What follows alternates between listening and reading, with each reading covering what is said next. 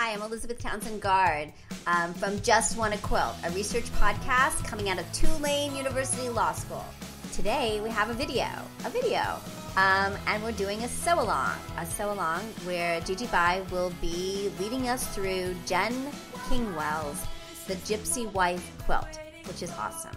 Um, so these are videos that Gigi will produce um, and help us understand how to do it. And Corey Dutton, um, a law student, is going to learn to quilt. So um, it's for beginners, advanced people, even law students, um, and it will be great. So uh, I hope this helps. So where do you find the pattern? Um, Jen Kingwell's pattern can be found at Amazon. It's again called the Gypsy Wife Quilt. It's super popular. You can also get it at Uptown Needle and Craftworks here in New Orleans. Just um, look them up online and call them, or at any quilt shop. So get the pattern and join us. Hi everybody, it's Gigi again, and um, we're trying something a little different today. I've got a new camera, and we aren't trying to use it through the internet, so hopefully we won't have all the interruptions that we had before when Corey and I were trying to do it on the phone, through Zoom, or whatever. So today we're going to work on Puss in the Corner, and it's going to look like this. It's going to have your um, half square triangles in the corners, and then you kind of just have a cross going through with the different um, one and a half inch squares. The center is a different one, then you have four um, one and a half inch squares around that, then four more that match this outer fabric. I don't think it matters if it doesn't match the outer fabric it just helps with the design factor if it does. Um, I'm going to kind of put one together with you right now. In the booklet, it says for you to cut your um, four and seven eighths. I think it's no, what is it? Two and seven eighths inch squares like this, and um, then cut them in half, then sew them together opposite pieces. But if you want to make half square triangles, you can do like we did before, where you draw a line down the center that is your cutting line, and then a fourth of an inch out, you do a line um, on either side of that center line. That is this, the, what you sew on, and then you can take your scissors. Try to put everything here so I don't have to move around too much. Try to keep my hands still. I'm learning. And cut right down the center on your cut line. And when you open it up, you have your half square triangles. So then I'll just press those and they'll be ready to go into the bottom. So here my half square triangles for my actual my top piece. So I piece that together and we work together. There's three rows, I guess is what you're going to be working on if that's how you want to look at it.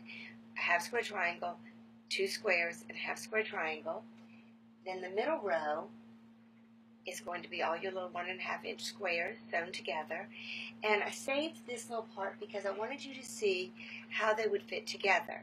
So on this top piece, I ironed these seams going out, on either side going out. That way when I get to this piece, I will iron these seams going in, and so when I go to put it together, it'll be really simple. They'll fit together. So let me iron them really quickly and show you what I mean by that. So, uh, this one in, this one in, and this one.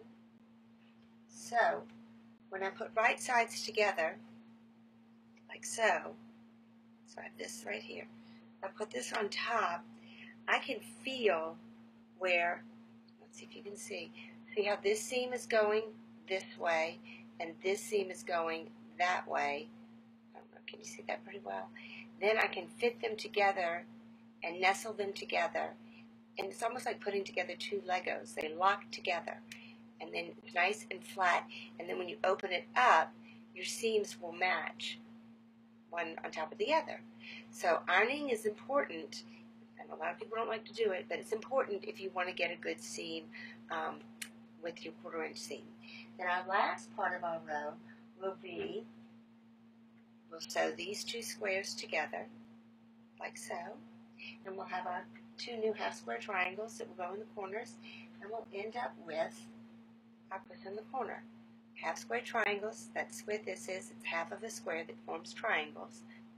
The name half square triangles are one and a half inch squares all the way down and all the way across, and you piece it together row, and then a row, and then a row.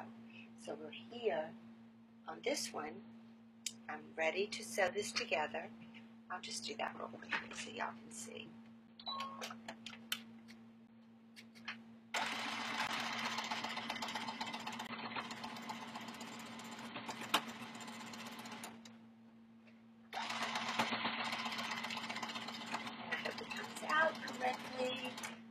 filming. I didn't do it upside down or something crazy. So there, you can see how it comes together. Top row, middle row, and then we'll do our bottom row just like we did our top row. And the seams should match up nicely because on the back you can see I ironed these in and those out. And any other little tidbits. Keep your quarter inch seam as best you can. Draw lines if you need to. Put um, tape or post-it notes or something there. I've got a little um, board like this that has a quarter inch seam on it that I use. I move it around from machine to machine. That helps me. There's also, oh here it is. There's a little magnetic um, guide you can get that you can sit on top of your machine to help you keep your quarter inch seam right there um, at, quarter, at a quarter of an inch. And I hope everybody is successful with their puss in a corner.